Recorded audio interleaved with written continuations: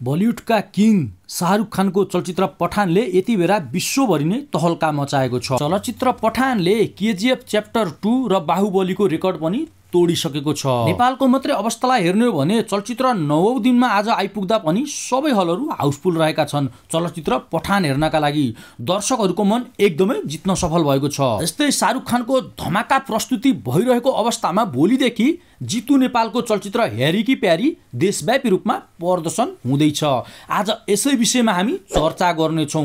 कृपया भिडियोमा अन्तिमसम्म रहिरहनु होला र भिडियोलाई एक लाइक गरी च्यानललाई सब्सक्राइब गर्न नबिर्सिनु होला सबैभन्दा पहिले कुरा गरौँ चलचित्र पठानको। शाहरुख खान जोन ओब्राहम दीपिका पादुकोन लगायतका अरू थुप्रै कलाकारहरूले अभिनय गरेको चलचित्र पठान यति बेला विश्वभरि नै निकै नै चर्चामा आएको छ। इन्डियन मुभीले बलिउड मुभीको सातो पुत्लो खाएर होस उडाइसकेको थियो।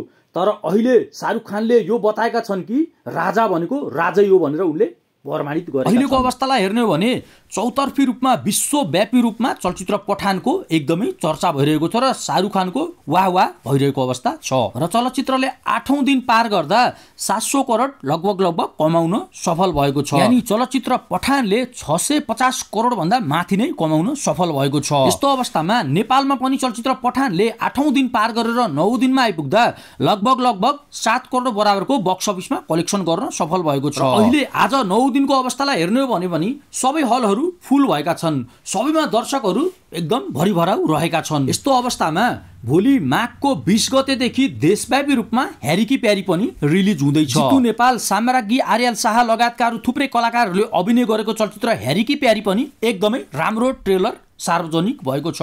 ट्रेलरलाई दर्शकहरूले एकदमै मन पराएका छन् र चलचित्रको गीतलाई पनि दर्शकहरूले एकदमै मन पराएका छन्। अब भोलिको दिन के हुन्छ त्यो त हेर्न बाँकी नै छ।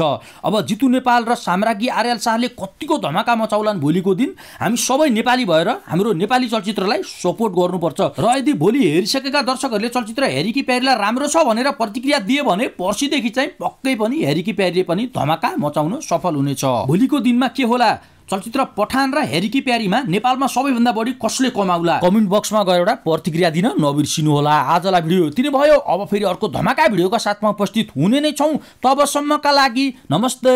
Bye bye.